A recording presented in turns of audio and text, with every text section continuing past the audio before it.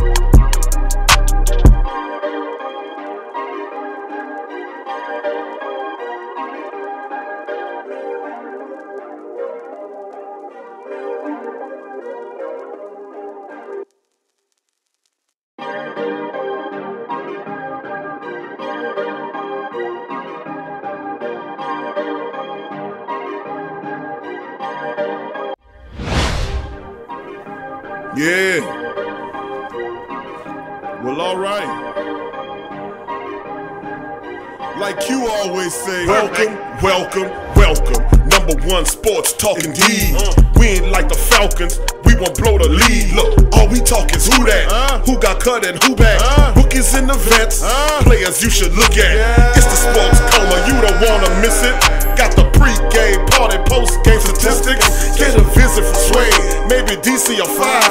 It's the hottest thing smoking, Big Q and the guys. Go to YouTube live, make sure you subscribe. Interviews inside the Saints locker room high. Talk to Drew, Jordan, Zach, Peyton, New Orleans, who that nation? Best believe when I say we bleed gold and black. Ain't a miracle or rivalry could ever hold us back. No, Beastquake, Bounty Gate, let the truth be told. It's the sports coma, all we know is say Super Bowl. Yeah. You're listening to the Sports Coma with Big Q and the guys on the PRO Media Network. Who that family? What's going on, fam? Welcome, welcome, welcome. Welcome, welcome indeed, family, to the Sports Coma with Big Q and the guys, where we have intense, entertaining, educating, and enlightening sport talk from your favorite sports family. I'm Big Q, if you don't know, and welcome to the Sports Coma, aka the Great Saints Think Tank, man. The greatest combine cabal. That sounds sinister. the greatest group of black and gold brains in the business, man. And we're steadily growing by leaps and bounds. Big ups to the black and gold family members in the building. Uh, much love to you. Much love to you. Big ups to you on this Thursday night, family. Good to see y'all in the live stream. Good to talk Saints on this rainy afternoon, man. Big ups to the family members. Diehard Saints fan, number one in the building. Much love to you. Who that to your family? Uh, GM Kev in the building. What up? Debo. What up, Debo the God in the building, man? What's happening? Donovan, Donovan Grayson, who that to you? 985 Live, who that to you? Joshua Hoover, who that to you? Josh, I see you. Dada Saints number one, who that to you as well? Family. Javier, Michael Sachs Jr., who that to your family? Adada Saints number one once again. Dallas Allen, who that to you? Says, who that big Q in the fam? He said, do a shout out. He said, can you do me a favor and shout my girl Tara Clark out? She's a converted Saints fans from the Falcons. Well, big ups to you, Dallas, and your and your girl Tyra Clark. Welcome to the Great Saints Tank Tank, Tyra Clark. Who that to you, baby? That's what I'm talking about. And pulling them people, pulling our family away from them dreaded, stinking, rotten Atlanta Falcons. So welcome to the Great Saints Tank Tank family. Uh, big ups to you indeed. Who that to you? 985 said they're going to suck the life out of Tre'Quan and throw him out. Dominic says, Dominic Evans, who that to your family? Says, who that Q? AK was just on IG Live with Matt Barnes saying he was injured before he set out. Said it hurt to run. That's why he was running out because he was in pain. And he also said he never said he won. Hmm, very interesting because what he told us during that time was he was running out of bounds because he thought nobody was behind him. so, I mean, man, whatever, you know, I guess, whatever, you know. We'll see how your ass run this year because you're supposed to be you're supposed to be fully healthy, 100. percent Let's see how he activate during the season. Hope he he should be 100. percent I seen some of his workout films uh, that he doing it pretty intense. So look like he is uh, close to 100, 100 percent to me based on some of the footage I was shown. But thank you for that information, fam. Torres Shepard Senior, who that to your family? Uh, Josh says Big Q Clowney, Griffen, uh, Anisha and Bennett are still free agents. Why are the Saints not taking any of the vets? They come in and help immediately. It's still, you know, I, it's, it's like I, I've said. I think I've mentioned this before.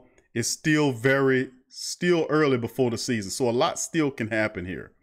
You know, and and I'm looking at it like we know there's still a lot of veterans. Uh, this is unusual. A lot of really good veterans out there around this time that you can get for next to nothing. So I I I, I see where you're coming from with that, but it's still a lot of time still remaining before the actual season unravels. And I do anticipate some more moves will be made, like the Saints made a move today and re-signing Patrick Omameh. So I'm still saying there's still some moves to be made. So we'll just have to see. Peanut 504, uh, Nola 504 Chief. What up, Peanut? Good to see your family. Derek L, who that to you? Dominic uh, once again, superstar Louisiana boy. Who that to you? Josh says, everyone welcome to the next big ESPN analysis. Next to go head to head on Truth Talking versus Shan Sharp. Let's give it up. Uh, thank you for that. That was a pretty good intro there. I appreciate you, Josh. Who that to you? Eight Ward Zach 41. Who that to your family? Tramal. What up, Tramal? He said we have a Saints troll on YouTube called Lord Brunson. Hmm. I don't know. We got a lot of trolls, fam. Debo said, let's cut Tre'Quan before you even do anything. Get rid of my Debo. Damone Benton, who that to you, Damone? Good to see you in the chat, family. Welcome to the stream. Steve Wynn, who that to you, Steve? Uh, big ups to you, fam. Good to see you in the building as well.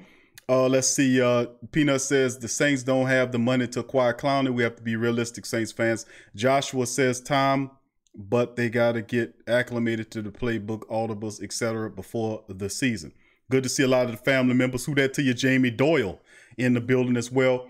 Good to see a lot of the family members, a lot of new family members chiming in as well. Much love to you. If you're new to the Great Saints Think Tank, also known as the Sports Coma, please hit the like button and subscribe if you aren't a subscriber because we always have great Saints talk here. Neville, who that to you, Neville? Good to see you in the chat as well. And the rest of the family. In this episode of the Sports Coma, we'll be covering a few, uh, uh some news and items. Uh, particularly uh, speaking the question I guess is asked when the Saints made the move to uh, sign Patrick Omameh recently. It just happened not too long ago, maybe four or five hours ago, when he signed Omameh. The question in my mind was, I was looking at it and I said, well, the Saints still have they got rid of a guy that made the Pro Bowl three straight years in a row. The three seasons that he was a Saint, he was a Pro Bowler. He was never a Pro Bowler prior to that time frame. He came here and excelled beyond what he, what he did as a professional. Three excellent seasons. wasn't wasn't wasn't perfect by any stretch, but the man was a Pro Bowler. Each year, you could never take that away from him. Saint says he's not in the future plans. I get that. They bring in the center Ruiz. I get that. Thinking about moving McCoy. I get that as well. That is a higher ceiling. I get that. Then I also said they're not done with the cuts. And I still feel, you know, with Omameh, who plays guard and tackle for him, that he could be a cheaper version than what Nick Easton is. And Nick Easton could be on next on the chopping block. So you have guys like Clapp that could play the guard, Tom Cameron Tom who could play center guard. Then you have Patrick Omameh, a guy they're familiar with, who can play tackle and guard as well. Plus, they have a bevy of undrafted guys two of which were on the team, and Derek Kelly and Ethan Greenidge, who the Saints liked and most and spent a lot of time on the active roster last year, especially Ethan Greenidge. This guy was on the active roster the entire summation of the season. So the Saints really liked this kid. So it looks at me, I said, okay, they got rid of Larry Warford, saved about seven, eight million dollars. Who's next on the chopping block? Nick Easton. Nick Easton could very well be the next man to get that axe or get the scissors, however you see it. He the next man, in my opinion, to get that axe. Five million dollars versus a Pro Bowler who was just who you save all you save eight, and the guy was a Pro Bowler all three years. Who that to you, Gundam? Thirteen and the family. Good to see you. Says who that family, the greatest analyst on the side of Mississippi. Who that to the family uh, as well. Join it, Willie Mitchell. Who that to you, Willie? Good to see you in the stream as well. Uh, I'm not. Debo says Brunson is delusional Eagles fan, wants to have Carson built like. I don't know who Brunson is. I don't really know who this character is. I just heard about him for the first time, so a lot of you uh, uh family members probably aware, but I don't really spend too much time listening to, you know, other people. You know, every now and again I'll catch something, but uh, I'm not really sure enough to comment on it. But as, as far as the Saints go, in this episode, family, we're going to talk about in the Great Saints Think Tank. Uh, we're going to break that down. The Saints move ahead and cut Warford for younger uh, dudes. Now Nick Easton's next up on the on the docket, and I say that to say because the Saints do a good service here by actually re-signing Patrick Omameh. So I'm gonna share my screen and we're gonna jump right into it, family. We're gonna cover that story right here. And let me bring up the screen. Here we go. Gator Saints signed, re-signed Omameh for offensive line depth. Of course, that news is brought to you by uh, the good folks at Saints News Network. Of course, the NFL Network and a few other people dropped it, but you know you got to support the people uh, that's close to you and a lot of great Saints think tank family members like uh, Kyle Mosley and the good folks at uh, Saints News Network, Bob Rose, who Bob is coming. He's gonna be on the show uh, real soon. Good guy, and the rest of those family, those good guys over there at the network.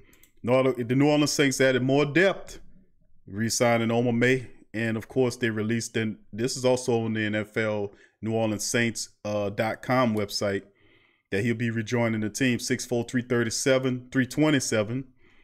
Started uh, against the Atlanta Falcons at place of Warford because of injury on Thanksgiving. Omameh played well on the road for the Saints. He spent the last two months as the free agent before agreeing to a new deal. And the details of Omameh's contract was not is not released, but of course we know that it's going to be something extremely, extremely, extremely inexpensive. Just to keep it real which it'll be extremely inexpensive to uh, for him. So why did the Saints bring Omar back? Obvious reasons, family. Hell, obvious reasons. Omameh comes back. He plays. Uh, May plays two positions, either guard or tackle. He's extremely uh, uh, cheap. I'm not really. He's very serviceable. I remember DC always would use that term. He'll say serviceable, serviceable, serviceable, serviceable, and that's the term for Patrick Omameh. But that's just good enough to keep it honest with you. That's just it's just good enough to keep on versus Nick freaking Easton, man. Come on. I mean, but this is the thing, man. We'll I'm still expecting the Saints as they bringing back more of the the guys that they're familiar with, and a lot of this is due to the fact of the climate that we're living in. That's pretty much what this is. That's why you see so many of the guys that the Saints have had on this team are coming back. They're coming back because this is because, like I've said, the the the climate in which we're living under. They're familiar with these guys. They know what they can do, and they have their uh, medicals and, and whatnot. And it's easier for them to do this way, do it this way. And I think if things weren't like this in in the medical climate that we're under, that things would be severely different. You wouldn't see most of all of these, the majority of some of these guys coming back. I don't, I don't think you would see that. But bear in mind, the Saints did bring back another familiar guy, and of course, it's definitely a cap. More cap moves are coming, no doubt about it. So a lot of people still thinking, Q, why aren't they bringing in guys like uh, uh, uh, Everson Griffen or any of the rest of the guys, or Logan Ryan, the rest of these guys? The re- the reality the situation is we're still not done here yet. As that's been the case, we're still moving toward and headed toward the season. Uh, the NFL still moving forward with the season, even if this, the, even if the fans can't go to the games, the season will continue. And the only way it doesn't continue is if things ratcheted up a bit. But it's very weird things going on, man, in the climate of this country. It's really weird. And I've read many, many literature, and it almost damn near mirrors the literature books that I've read years ago about stuff like this. I mean, to a T. It's like the some guns took the playbook and said, mm-hmm, mm-hmm. All they have to do is read the books, man. You know it all. But absolutely amazing. I still expect the NFL season to move ahead and continue on strong, even if the fan base aren't. And the NFL will find a way around it to be able to then uh, charge your ass to compensate for some of the money that it'll be losing from the stadiums that you know, we basically built for our teams for free. Uh, Debo says Brunson is upset. Okay, I read it. Debo says if Easton, if I'd keep Easton if he restructures his contract, five million a season. Restructuring his contract also could be could be an option. I thought that was an option for Larry Warford. I was just not understanding why you just had to get rid of him. I mean, I just didn't understand that, but I get it. You know, if that's what you're talking about improving the line and how he played against Minnesota, wasn't his all little little secret. It wasn't all his fault. He wasn't the only one stinking in the Minnesota game. I mean, if you want to put the tape on, they pretty much all was stinking up, especially Drew Brees. So we had to get Larry, get rid of Larry Warford. I think he wanted to march him out of there too. If that's the logic behind it, you know what I mean? But they didn't see it. They want the team to be built a certain way and they're moving forward. So Nick Easton, I really do think that he is he's definitely due for restructuring. He's making too much money as a reserve lineman. So either, it's either a cut or a major restructuring coming. So I can get behind that. Uh, Debo. Gundam says, Big Q, when resources permit, can you do a show purely on football analysis on how the Saints can win it all? Please. Yeah, I can do that. I'll do that. Probably end up putting that together between uh, the weekend and next Wednesday on why I think the Saints will win it. We're releasing a series of videos. Uh, one to be coming soon, should be out tomorrow, which is it's available to our Patreon family members and some of our members. Uh, which is the is the Saints' uh, top ten defense this year. Of course, last year they ranked 11, but the secondary was 20 plus something or other with a fourth ranked uh, rushing uh, rushing defense. So that's out as well. A lot of people can view that versus our Patreon page. If you want to join up to be a Patreon, there's other unlocked content we do for the Sports Coma, including it's called the uh, TSC Q&A Live, in which uh, we do that every Tuesday on patreon.com slash the PRO Media Network. Also, is un- other unlocked content as well there where you can listen. Farouk Abasi, who that to you? Good to see your family. Uh, Debo says Griffen, Ryan, and Clowney want market value pay. That's not going to happen. The value of the market is exponentially is, is going through the flow for them. So the after the draft, they still want these fat contracts. Some of these guys are uh, just going to have to go and sign. They're going to have to just go like Everson Griffen opted out that three year deal with Minnesota to bet on himself.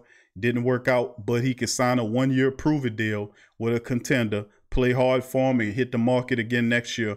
Hopefully, the economic or the medical circumstances what we're going through will be a lot better. I anticipate it probably will get worse in the fall because um, because of the obvious effects of what's going on. And I would caution a lot of people to not believe TV doctors. I will caution you to do your research. I will caution you to be critical thinking. I will caution you to not believe everything the television tells you. I will caution you to be a person uh, that be very mindful of the things that you hear because you are now in a time frame when everything that was held back is now being thrown at you. And they've been organized and they've been moving real fast and now they've uncloaked. Like like if you a Star Wars fan, you remember the Klingons, Star Trek Star Trek, and remember the Klingons and their bird of play, bird, bird of prey ship it was one of the baddest ships in the, the old Star Trek world because it had a cloaking device. and you ain't know where them blasted Klingons at. And they'll be moving around. The next thing you know, the Klingons are uncloaked right in front of you. But we always knew that they that once they un, they could not never they couldn't fire while the ship was cloaked. That was during the sitcom. Then ultimately later on, I forgot what movie that was. I think that was one of the Klingon movies where they had a device where the Klingon bird of prey could fire while cloaked. I think that was the one with with uh dang I forgot which one that was with Captain Kirk on there. But my my my father was a Star Trek fan, man, and that kind of passed to me. He was a Lakers fan early on too. So I don't know. But the reality at the end of the day, man, is that it's a lot of great things going on uh, for the world. But I really caution people to kind of keep your mind critical thinking and don't buy into the uh the fear thing because that's really dangerous, man. Please don't do that. Uh, Debo says Coma talking our NOLA legends. Uh, uh, uh, let's see. Donovan said they know the playbook already. Schemes with no OTAs and possibly no camp. It gives us an advantages to uh, to uh, bring back these players. I agree, Donovan. That's absolutely true. Uh, Debo says rest in peace, Wayne Reese. That's right from McDonogh 35. He was the head coach. Good man. A lot of people uh, Coach Reese touched on. Delvin Breaux was talking about that as well in his past interview. Uh, if you want to listen to portions of Delvin Breaux interview, played a large chunk of it on the show. Uh, Delvin Breaux uh, unloads on Sean Payton. We covered that in the middle of the week show. It's in our uh, it's in the uh, upload section or to feature some of the latest videos. You can go back and listen. Joshua says, Big Q, I read an article. They wanted to keep Warford and restructure, but he wouldn't take the pay cut or restructure they wanted him to take. Yeah, I've heard that too. Uh, uh, he wanted to remain too, but that's not a surprise too. That eventually I did hear it before, did hear before all that started that the Saints were looking at looking beyond Larry Warford. They wanted, and I remember reading about that as well. So I don't think he was in the long range plans, but things change. And as you can see right now in the in the arena right now, free agent arena, a lot of teams want Larry Warford. But he's standing pat on that seven million dollar exit price, and a lot of teams are like, oh no, we won't. No, no, we don't want to give you that much. So he's kind of holding on to that. So you're absolutely right on that. Thank for that family. Uh, Debo says family is uh, hurt deep, man. Yeah, I know. He Wayne Reese was a very, very good person and very impactful, man, to a lot of people. So Uh, Donovan Sumalades, Logan Ryan hasn't signed, but in conversation with yeah several teams that he's signed to. Nobody, no serious takers for Logan Ryan right now. He's the best cornerback out there on the free agent, and whoever gets him will get a hell of a player for next to nothing. Who that to you, Joshua? Is the longer they wait, the less they're going to make. That's absolutely right. Cheryl, who that to you, Cheryl? Good to see your family. Much love to you. Uh, Derek as well. Who that to you? Uh, good to see you. Uh, Ka Shin, I see you. DLP 2600 fam. I see you. Gundam 13 says Star Trek Undiscovered Country. Big Q. Okay, there you go. There you go. See, I remember that. That Star Trek analogy.